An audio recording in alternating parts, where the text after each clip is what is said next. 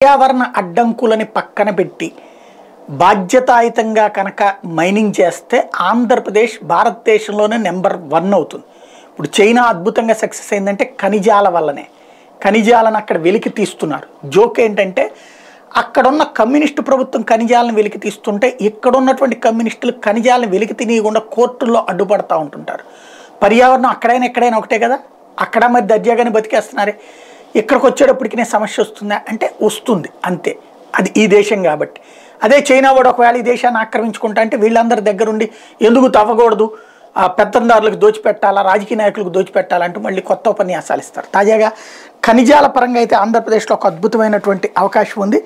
ఆంధ్రప్రదేశ్లోని అనంతపురంలో అత్యంత అరుదైన భూమి మూలకాల రేర్ ఎర్త్ ఎలిమెంట్స్ ఆర్ఈని శాస్త్రవేత్తలు గుర్తించారు. ఈ మూలకాలను ఫోన్లు టీవీలు సహా అనేక ఎలక్ట్రానిక్ పరికరాల తయారీలో పారిశ్రామిక ఉత్పత్తులు వైద్య సాంకేతిక ఏరోస్పేస్ రక్షణ రంగం వంటి వాటిలో వినియోగిస్తున్నారు. అదేవిధంగా శాశ్వత అయస్కాంతాల తయారీలో కూడా ఆర్ఈఎల్ పాత్ర ఎంతో ఉంది. ఇది హైదరాబాద్కి చెందినటువంటి జాతీయ భూభౌతిక పరిశోధన సంస్థ ఎన్జీఆర్ శాస్త్రవేత్తలు గుర్తించారు. అనంతపురంలోని శిలలను అత్యంత సూక్ష్మంగా పరిశీలించాం. కిలోమీటర్ లోతులో డ్రిల్ చేసి శోధించాం. వాటిలో ఆర్ఈఈ ఉన్నట్టు నిర్ధారించుకున్నాం. ఇవి తేలికపాటి అరుదైన మూలకాలు. ఈ ప్రాంతంలో భారీగా ఉన్నాయంటూ తేల్చి చెప్పారు. ఇది కనుక బిగిన్ అయితే కోట్ల రూపాయలు.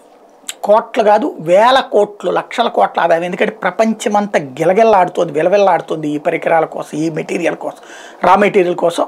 నరేంద్ర మోడీ అధికారంలోకి వచ్చిన తర్వాత సీరియస్గా దేశవ్యాప్తంగా ఖనిజాలని పరిశోధించడం కోసం అని చెప్పేసి డబ్బులు విపరీతంగా కేటాయించారు. దాని వలన వస్తున్నటువంటి అంశం ఇదంతా కూడా. ఇక్కడ కీలకమైనటువంటి మరొక వ్యవహారం వల్ల ఏంటంటే సుదీర్ఘకాలం నుంచి మన దేశంలో ఇట్లాంటిది చెయ్యనీయకుండా అడ్డుపడుతున్నటువంటి వామపక్ష మేధావుల సాక్షిగా వాళ్ళ వాళ్ళ దేశాలు బాగుపడటం కోసం మన దేశంలో బాగుపడేవాడు ఫర్ ఎగ్జాంపుల్ అణు విద్యుత్ కర్మాగారాలు రష్యాలో ఉంటాయి చైనాలో ఉంటాయి ఇండియాలో వద్దంటుంటారు. ఎందుకంటే అక్కడ చీప్ కరెంట్ వచ్చింది అక్కడ easy labour cheap labour cheap current. తద్వారానే అక్కడ ఇండస్ట్రియల్ గ్రోత్ జరిగింది. మన దేశంలో అట్ట రానియకుండా వీళ్ళు ఇక్కడ అడ్డుపడుతూ ఉంటుంటారు ఇప్పటికైనా ఆ కుట్రల నుంచి బయటపడి భారతదేశం ఎదగడానికి ఇట్లాంటి ఉపయోగపడితే ఏం చేస్తారో చూద్దాం.